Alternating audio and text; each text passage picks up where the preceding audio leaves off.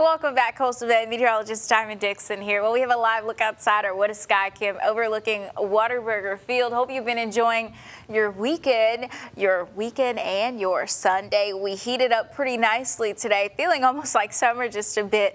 We were in the 70s for our highs. Some of our neighborhoods still kind of experiencing the 70 degree weather. We'll take a look now our temperatures in Felix across the coastal bend 67 in Ingleside, 69 in Port Aransas, 68 here in Corpus Christi, 67 also in Robstown, 66 in Mathis. A little cooler there in Beeville at 62 and 70 in Kingsville. So ideally hour by hour how we're going to look, we're going to hang in the 60s all night long. We have a northeast wind pattern about 15 miles per hour in Corpus Christi.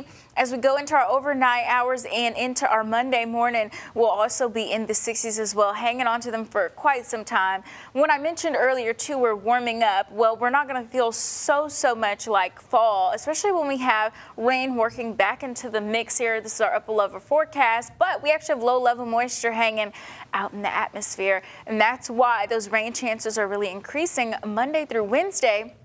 But even besides Monday through Wednesday, we're going to see some rain opportunities almost daily this week, and we'll get to that here in a bit. But looking at the next 24 hours between Corpus Christi, Alice, and Beeville, we see that opportunity of rain tomorrow afternoon and morning about after around 10 a.m. to about 4 p.m. And then you can see off your screen there we have another opportunity to see some rain tomorrow night.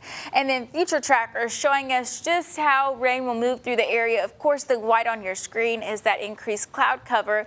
And of course, they're full of moisture. So what's going to happen with that moisture? It needs to come down. So Tuesday into our Wednesday, also a good opportunity to see rain. So this is where you can see the next seven days. Monday, Tuesday giving us between widely scattered and scattered. And you could even see rain chances, like I mentioned, daily well into Saturday. So all the way until next weekend. Of course, a lot can change between now and then. The forecast can change absolutely daily. So we'll just keep an eye on how much rain we're expected to get here in the coastal bend.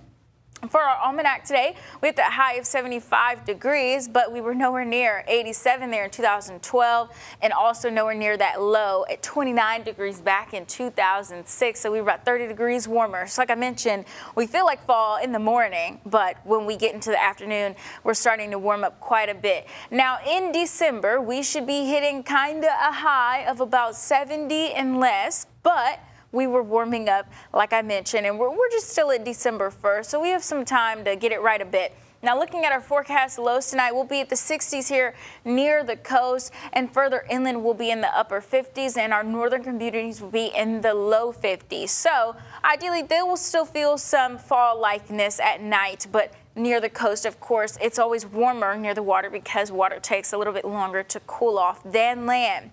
But if we're looking ahead to our next seven days. Once again, I mentioned that we have rain chances pretty much daily. We have another cold front that's coming into our area that should kind of lower our temperatures a bit to where we should be seasonally.